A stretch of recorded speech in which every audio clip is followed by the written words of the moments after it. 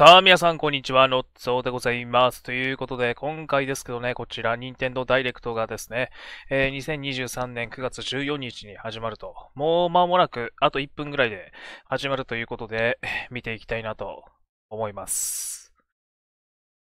あ、来た来た来た来た来た来た。17歳以上のゲームソフトの紹介が含まれています。内容の視聴には、うんたらかんたら。さあ、ダイレクト。なんかもう事前にプレミア公開は始まってたみたいなんで、なんか CM とか挟んでね。だからいつものあのうるさいやつはないですね。あ、スプラ、あー、ダウンロードコンテンツか。もうスプラトゥーン3もね、1年経ったんだよね。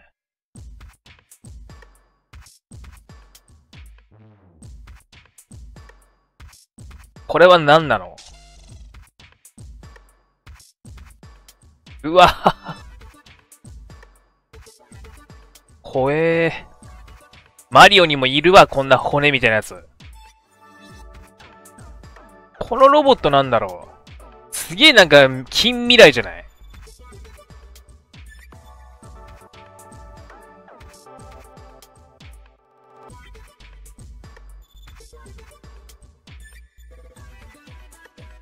やっちまえ、8。ヘイ、僕が敵じゃない。タコっぽいけどタコじゃないか。水た。マジかよ、そんなの早く言ってくれよな。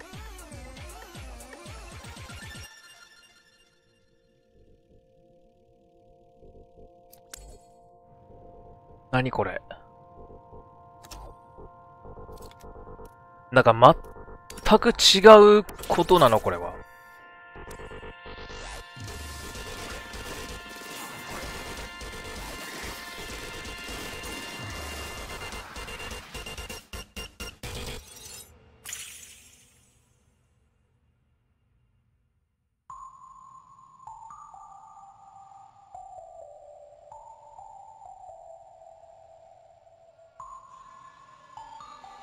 サイドオーダー。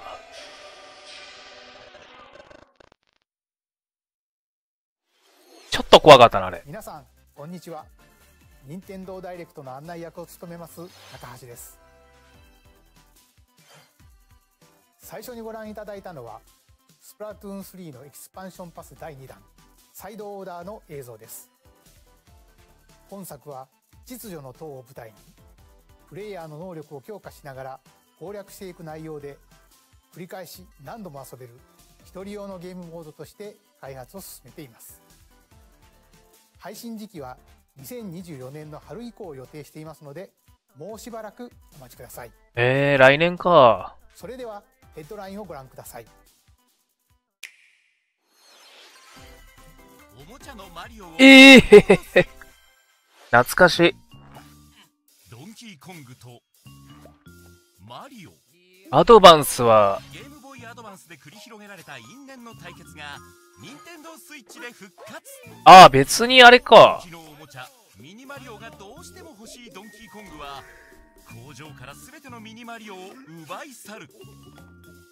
ドンキーコングを追いかける冒険の始まりです。これの新作なんだ。仕。掛けいっぱいのステージが待ち受ける攻略のコツはひらめきとアクション鍵を取りたいけど渡れそうにありませんうーんサイかわいいな、おいあ。の猿の尻尾が怪しいですねこうすればおこれで渡れそうですー。サイかわいい。ちょっとバカなところがいいよね。段差は逆立ちジャンプやバックフリップでこのマジ何者なんだ、この配下のおっさんはよひ。らめきとアクションを駆使してミニマリオの元へたどり着けばステージクリアそしてドンキーコングとの直接対決が待っている今作ではえー、キノピオ。2人での協力プレイにも対応1人でも2人でもおもちゃのマリオを取り戻せマリオ VS ドンキーコングは2024年2月16日発売まあまあ早いな。このダイレクト終了後予約受付を開始マリオ VS ドンキーコング。野原一家秋田へ。しんのすけ。しんのすけ。続編？ヒロシの実家近くの村にやってきた野原一家。自然の中での暮らし。またあったね。そこではのんびりとした時間が流れます。ある日墨まみれになった白についていくと。そこは時間が止まったかのような炭鉱の町。炭鉱で働く人と一緒に湯船に浸かったり食堂の新メニュー開発を手伝ったりしながらえ。次第に街に溶け込んでいきます。ー、裏手の親父。時には街をうろつく不穏な影を見ることも。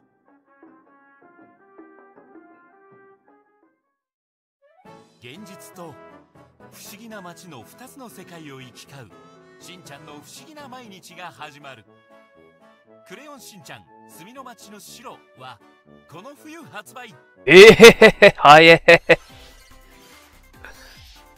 任天堂スイッチピックアップタイトルでも何月かは決まってねえんだ。調整中かな？主人公サルゴンはペルシャの王子を救う旅にえ、クレヨンしんちゃんいいな。出行く手を遮る息もつかせぬステージ春日部防衛隊みたいな、なんか、ちょっと似た子たちで出,、ね、出てこんかな。さすがに出ないか。冒険の先に待ち受ける。強大な敵に挑め。最大20人でクイズに答えて最後の1人を目指す。サバイバルクイズシティ。不正解だと。荒いな、なんか。にアクションステージへ行。こうゴールできなければ脱落とだからあの、ピンクのあれ、なんか100日後に死ぬワニみたいに見えるわ。正解したプレイヤー。この過酷なクイズバトルを生き残れるか。大パン不可避じゃん。お祭り編は基本プレイ無料で10月12日配信。えー、来月か。12月1日に発売する「ドラゴンクエストモンスターズ3魔族の王子とエルフの旅」このダイレクト終了後物語の序盤がプレイできる体験版を配信します。いいな。この体験版の一部データは製品版に引き継ぎ可能です。最近そういうのがあるからいいよね。復讐を胸に魔族の頂点を目指すピサロの半生。ぜひあなたの目でおー。おー主人公。マリオシリーズ最初の RPG が再び。グラフィックを一新して蘇るスーパーマリオ RPG 本作で新たに加わった遊びをご紹介。タイミングよくボタンを押すとバトルを有利に進められるアクションコマンドバトル。本作ではパーフェクトなタイミングでボタンを押せば敵全体への攻撃が可能に。えまたー、あ、ジュゲーム。ア。クションコマンドが成功するとゲージがたまり100%あなんだあの DV のこの子。での強力技が繰り出せる。仲間の組み合わせによって技の種類も様々。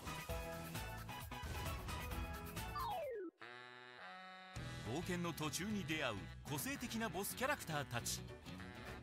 クリア後には一部のボスと対戦することもできる。パワーアップした彼らがマリオたちの挑戦を待っている。9999。いつもとはちょっと違うマリオたちの冒険。スーパーマリオ RPG は11月17日発売。おい。そろそろ起きな見えてきたぞ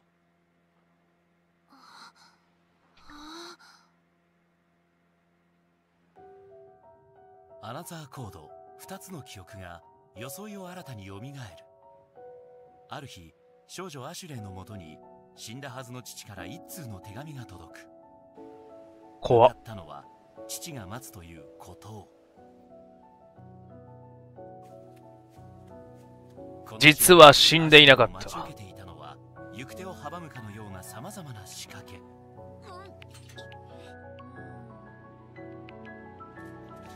謎解き要素が？あ、ごめん。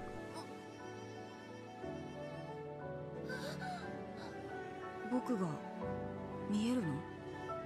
謎の少年との出会い。アシュレイに待ち受ける真実とは？パパの顔どうしても思い出せない。誰？さらに2年後を描いた「アナザーコード R 記憶の扉」も収録。これがジュリエット・レイク？物語の全てが明らかに。2本のストーリーが収録された「アナザーコードリコレクション」は2024年1月19日発売。このダイレクト終了後予約受付を開始。雰囲気いいな。任天堂 d s と Wii で発売した2つのアナザーコードが。グラフィックはもちろん全てを一新してアナザーコードリコレクションとして任天堂スイッチに登場します発売までもうしばらくお待ちください続いてはこちらをご覧ください塩見修子みたいな。あ、ピーチのあれか。かわいい。キノピオが持ってきたチラシで知ったひらめき劇場の舞台公演僕たち可愛いんですっていう。ピーチ姫一行だったが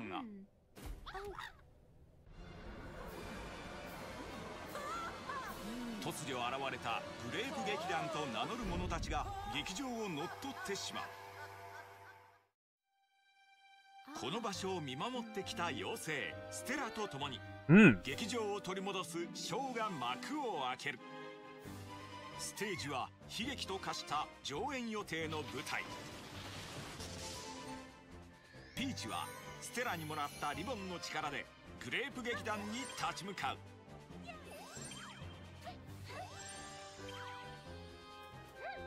でもリボンでは進めない場面も。そんな時は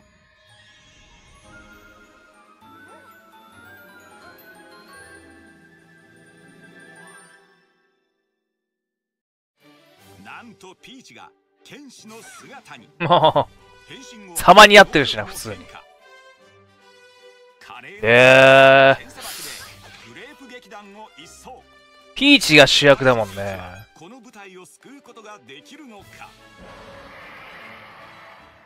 乗っ取られた舞台は他にも展示品が盗まれてしまった博物館オリマーバナだなオリ、オリマーとかマリオか。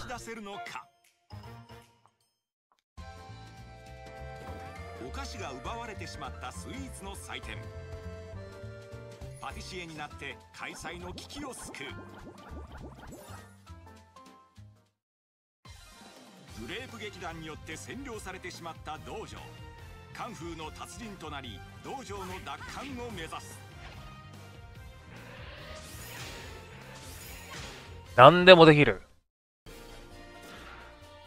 ピーチの変身はこれだけではありません全ての舞台を救いこの劇場を取り戻すことができるのか。プリンセスピーチショータイムは2024年3月22日発売。このダイレクト終了後予約受付を開始。ご覧いただいたのは変身によって遊びも変化するプリンセスピーチショータイムです。映像で紹介した変身以外にもまだあるようなのでお楽しみに。デカバナ。引き続きヘッドラインをご覧ください。デカバナが可愛かったね。サガシリーズ完全新作。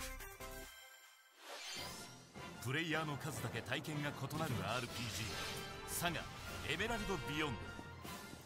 主人公は6人。意志を持つ傀儡と共に戦う青年。正体を隠し小学生として暮らす魔女。え？ー謎の組織を追う首都警察の2人組。小学生。声と体を失った歌姫メカ。死者として目覚める闇の王。その中から一人を選び目的を果たすため異空間でつながった17もの世界を巡る。誰がいつどの世界に訪れ何をするか。選択によって物語はシリーズ史上最も変化していく。バトルは敵と味方の行動順が鍵となるタイムラインバトル。繰り出す技によって行動順を操作し味方の連携を発生させ戦況を有利に運べ。サガエメラルドビヨンドは2024年発売全くわかんねえんだよね。タイトルその2全くわかんないからさ。3人でチームを組み全10チームで生き残りをかけて戦う乱闘型アクションバトルクラッシュ相手を倒すには体力をゼロにしてとどめを刺すかフィールドの外に落とせば OK へえ。ーはこれなんかなんとかストライカーみたいな感じのなんか体力のあれだね。これ最後。の1チームを目指せあのなんか、サッカーかなんかホッケーか忘れたけど。フルリメイクされて登場さあ暴れてやるか選べる武将は総勢1000人三国志のどの年代からでもスタートできる英雄となり思いのまま国を動かすもよしあえて凡庸な武将を選びそこからの立身を図るもよし。築く人間関係によって展開は刻々と変化。あなたはどのような歴史を作りますか？アーニャすごい絵日記書く。学校の課題で絵日記を書くことになったアーニャ。平日は学校に通い夜は家族で団らん。休日は絵日記の題材を探すため海水浴や美術館などさまざまな場所へお出かけ。友達や家族と過ごす中でアーニャはどのような絵日記を書くのでしょうか？父母できた。どんな事件もピカッと解決名探偵の朝は早いここは名探偵ピカチュウもう少しだもんな。来月だもんね。自称名探偵あごめんピカチュウと相棒の青年ティムは行方不明となったハリーを探す中さまざまな事件に巻き込まれていく俺が言うのもなんだが、つって。ティムが人々にピカチュウがポケモンに聞き込みを行いながら真相に迫るさらに調査に協力してくれる心強いポケモンも。匂いの痕跡をたどれるガーディ岩をかけるヒヒダルマそしてレントラーは壁の向こうを投資することができる。レントラは紹介なかったね。ティムとピカチュウは全ての事件を解き明かしハリーを見つけることができるのか。帰ってきた名探偵ピカチュウは10月6日発売いや、マジでもう少しじゃん。メロディーを奏でるのはトロンボーン？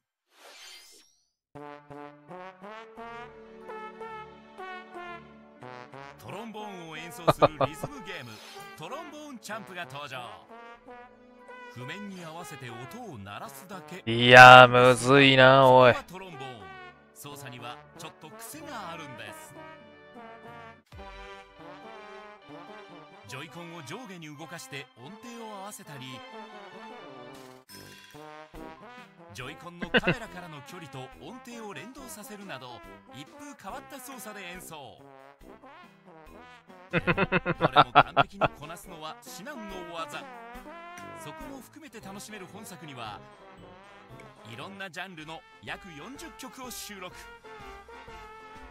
ローカルでは最大4人で演奏することも。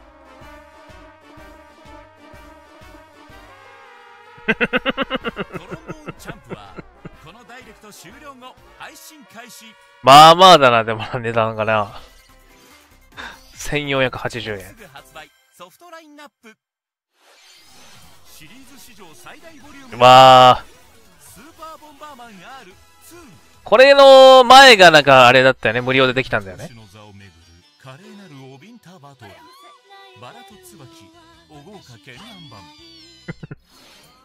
大の物語を追体験。インフィニティストラッシュ。ドラゴンクエスト大の大冒険。冒険家アドル遥かなる北の海へ。イーステン・ノーディクス。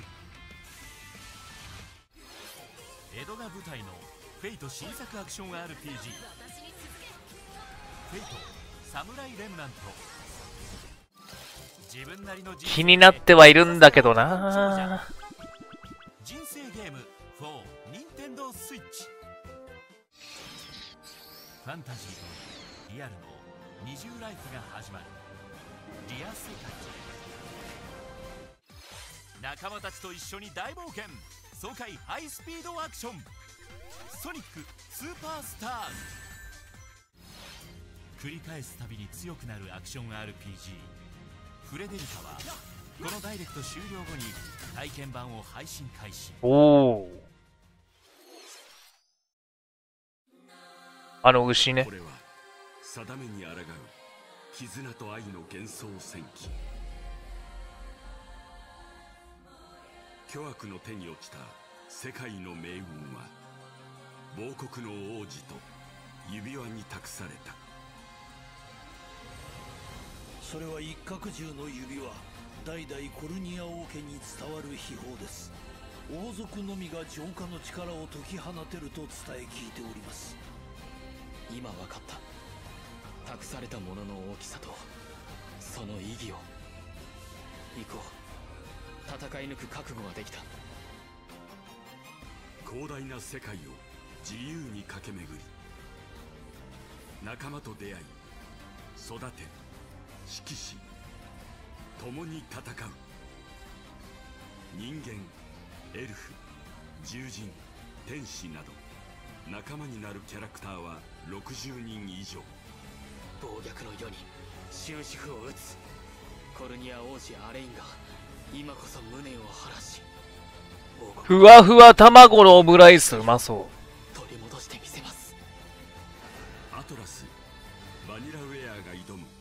新生シミュレーション RPG ユニコーンオーバーロード。なんかドラゴンズクラウンとかのなんか3月8日発売。感じだもんね。ドラゴンズクラウンだっけ？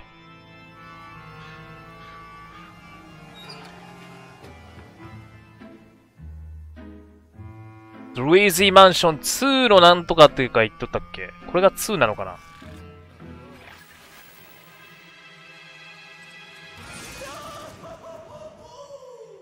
ルイージマンション 2HD ここはたくさんのお化けが住み着いていると噂のお化け国。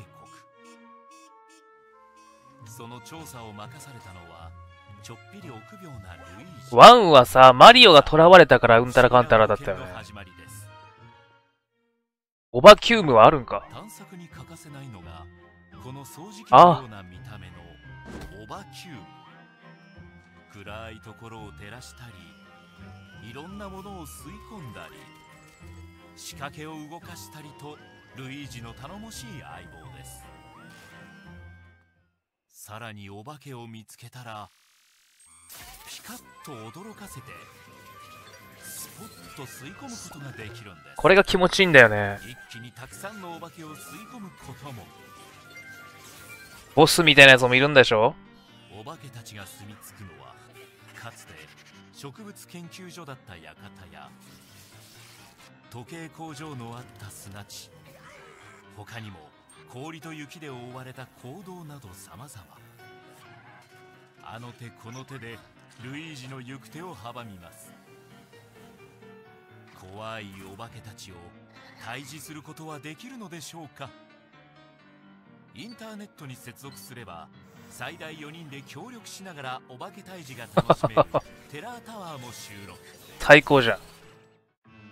ルイージマンション 2HD は2024年夏発売夏。いかがでしたか？ここで皆さんに2つのお知らせがあります1つ目ですがこちらの映像をご覧くださいなんだろう。なになに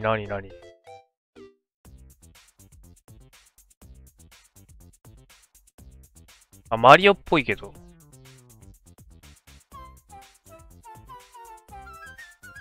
ああ、ハテナブロック大き。なハテナブロックが見えてきましたが実はこのハテナブロック現在京都府宇治市に建設中の任天堂資料館の屋上に描かれているものなんですこの資料館の正式名称は任天堂ミュージアムに決まりました任天堂ミュージアムはその名の通り今までに発売された様々な任天堂製品を展示する施設になりますが現在2023年度の完成を目指して建設を進めています。オープンの時期など詳細については改めてお知らせしますのでもうしばらくお待ちください。2つ目はアミーボに関するお知らせです。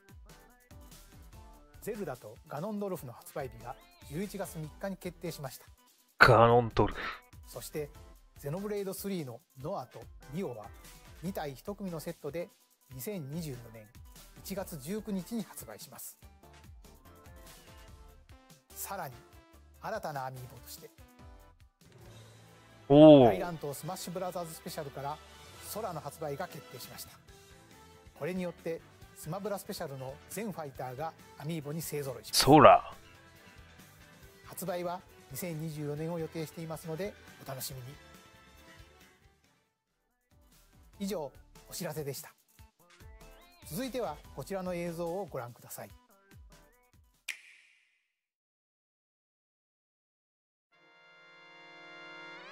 ええー。F0。あの F0 が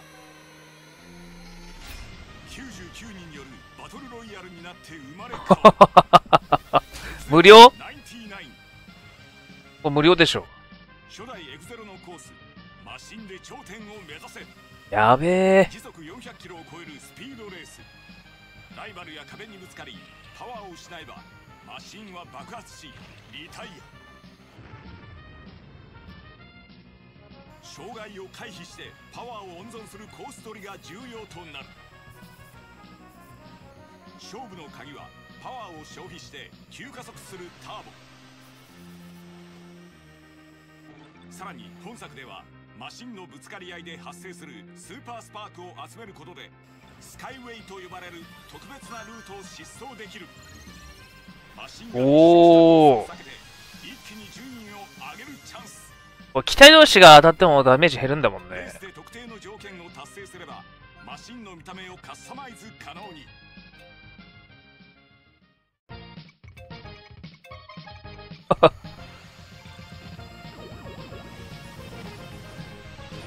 正気か。9分の1最速をかけた F0 が幕を開ける F099 はええー。スイッチオンライン加入者限定ソフトとしてこのダイレクト終了後配信開始すぐできる。30年以上の時を経て F0 がバトルロイヤルになって蘇ります任天堂スイッチオンラインに加入していると購入できる。このスーパーファミコンのコントローラーにももちろん対応しています。ぜひ1位を目指して挑戦してみてください。それではヘッドラインをご覧ください。今度の舞台は南国リゾート。ワリオカンパニーの社員旅行でようこそバリオモロ島へバリオモロトこの島であなたが挑むのは全身を使ったプチゲー。ムはプチゲームに重要なのは。はフリフリやってたよ、そういえば。と呼ばれる様々なポーズコケコッコ指定された構えでスタンバイし出されたお題に瞬時に挑め右手写しええー。連続して出題されるプチゲームをあなたは攻略できるか？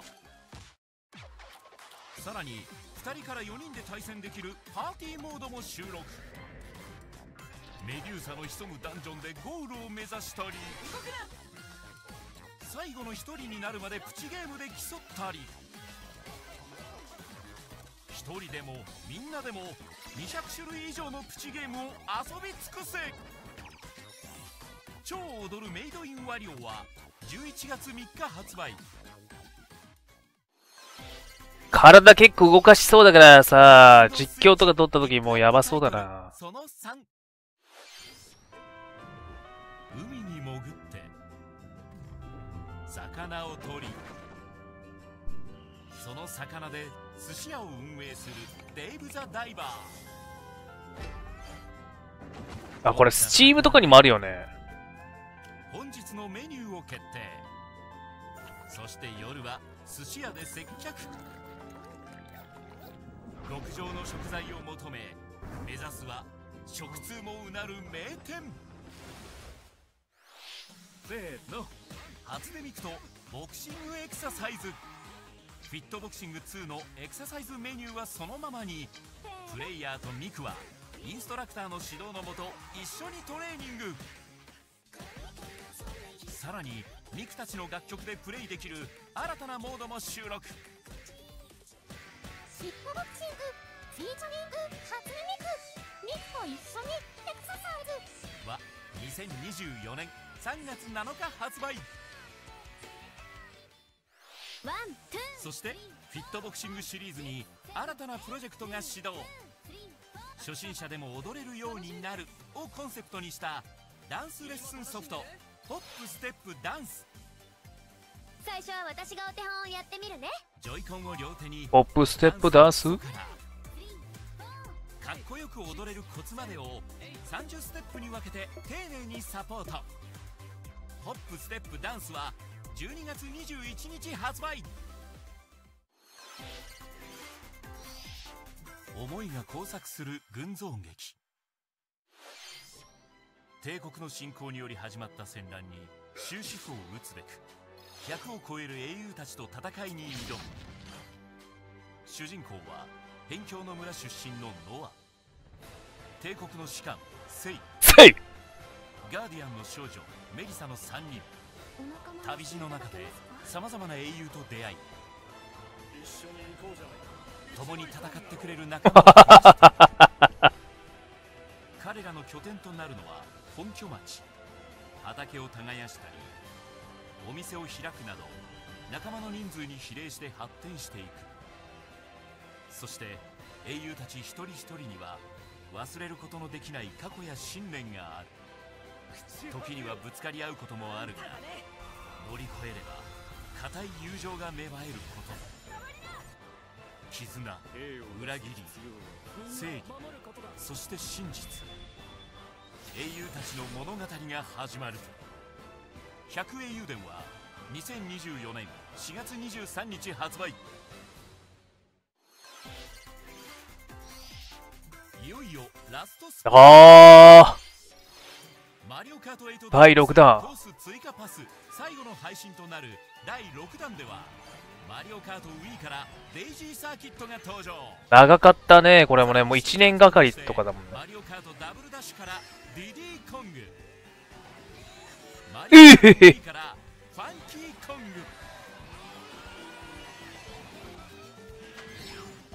マリオカートツアーからコリーン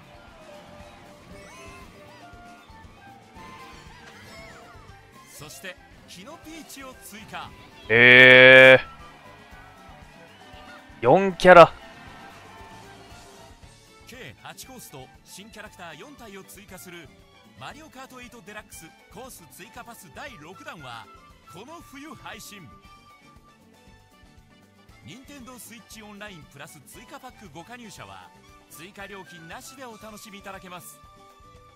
ソフト本編と追加パスがセットになったパッケージ版も10月6日発売。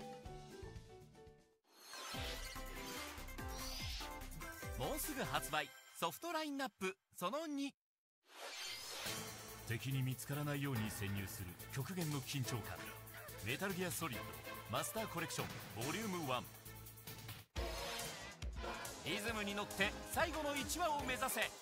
ヘッドバンガーズリズムロイヤル着せ替えファッションコミュニケーションゲーム。ファッションドリーマー。最強のサッカーチームを作ってさらなる高みを目指せ。フットボールマネージャー2024タッチ。サイコロ振って世界を飛びお回れ。お桃太郎電鉄ワールド地球は希望で回ってる。歴代最多の人道対戦開幕。ナルティメットストームコネクションズ。これなんだっけ ?4、4だっけ ?5 だったかやったことあるんだよね。ペルソナ5タクティカ。4かタヌキの化け ?4 だっけあの、八門東高のさ、マイトガイで、まだら、あの、ほとんどダメージ食らわずに倒すみたいな。やってたわ、そういえば。なんか S ランク取るためにはなんかダメージをあんまり食らっちゃいけないみたいな。それでなんかトロフィー解除だったからな。こめっちゃやってたな。少年がゲーム機のスイッチを入れると。ファミコン。目覚めるとそこは子供だけが暮らす子供たちの国だった。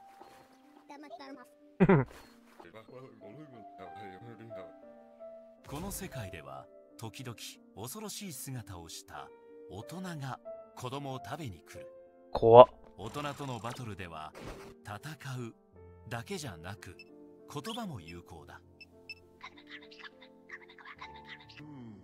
怒ったり拗ねたり笑ったり言葉を使って心に触ることで大人の魂を救うことだってできるかも。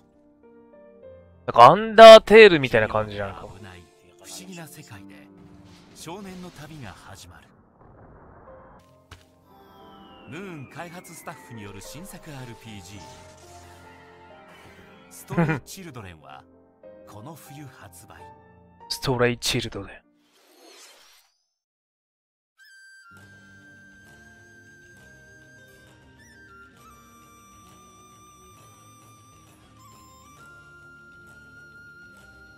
山を越え川を渡りお宝が眠るというトグロ島にそびえ立つ山の頂を目指す。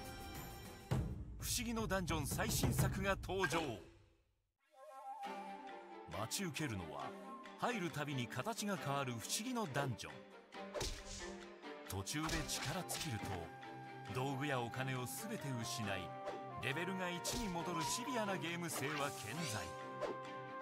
一つの行動が生死を、モンスターハウスね。1000回遊べるダンジョン RPG の新たな冒険が今始まる。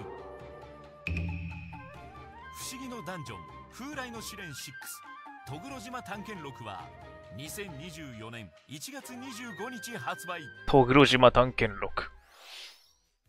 いかがでしたか？ここまで任天堂ダイレクトをご視聴いただきありがとうございます。さまざまなタイトルをご紹介してきましたが9月以降に任天堂から発売するタイトルをまとめたダイジェスト映像をご用意しましたのでご覧くださいおお、ゼロのよ。これはもう、もうこれ終わったら来るね。終わんだ。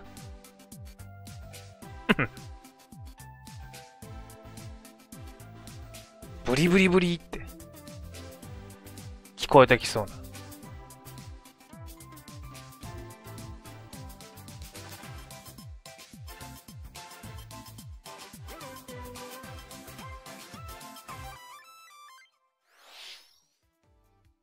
発売するタイトルをお楽しみに。次が最後の映像となります。ご覧ください。なんだろう。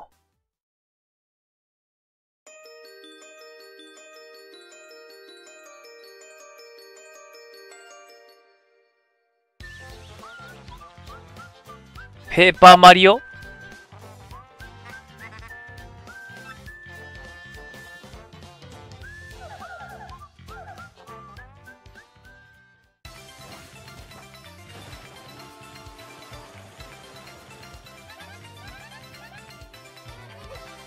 え、この子って最初の子なんじゃなかったっけ？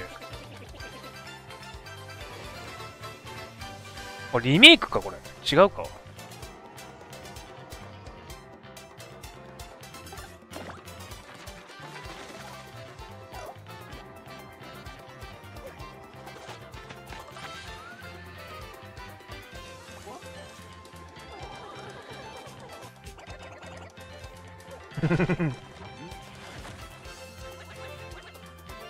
ナイスバディ。かわいい。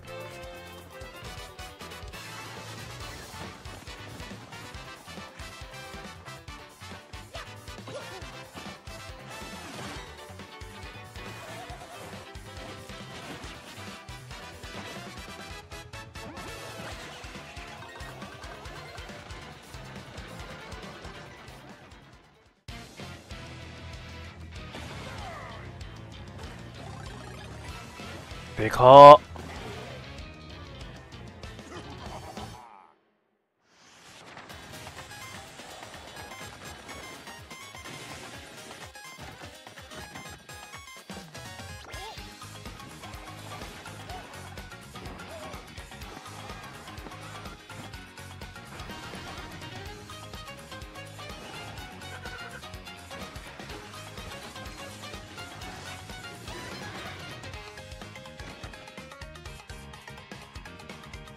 ペーパーマリオ RPG。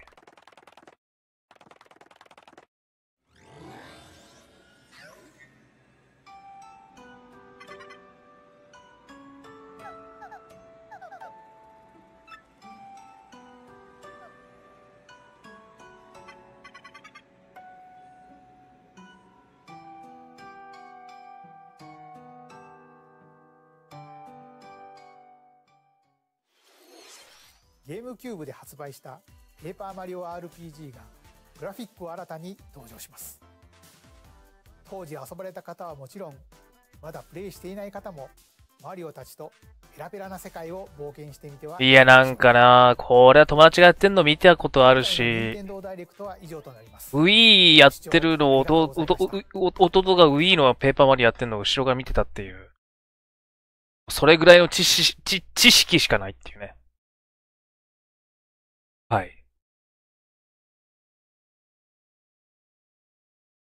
放送は終了いたしました。ご覧いただきありがとうございましたと。はい、ということで、えーこれにてですね、え2023年9月14日の任天堂ダイレクト終了と、えーいうことになりますね。いやー、欲しいタイトル結構あるんですよね、マリオ関係とかで。ワンダーとかも欲しいんだけど、まあどうなんだろうな。そんな余裕があるのかと、うん、いう感じでございますけども。はい。ということで、えー、今回ね、えー、ここまでにしたいなというふうに思います。チャンネル登録と高評価お願いします。それじゃ。